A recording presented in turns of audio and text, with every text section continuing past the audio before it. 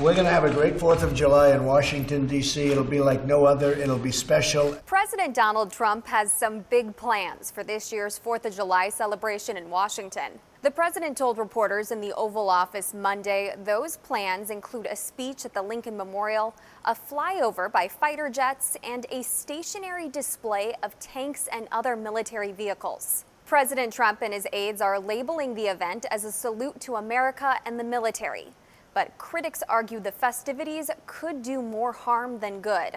A defense official told the Wall Street Journal tanks would likely damage D.C.'s asphalt streets.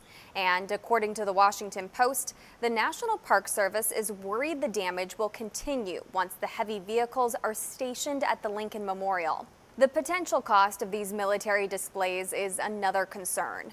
The Defense Department hasn't released any numbers, but estimates put the price tag well into the millions. And some are worried the events will turn a traditionally nonpartisan celebration into a political one. Previous presidents have limited their 4th of July festivities to a party on the White House's South Lawn. President Trump has been itching to put on a military parade ever since he spent Bastille Day in France in 2017. But concerns about the cost and logistics put the idea on the back burner.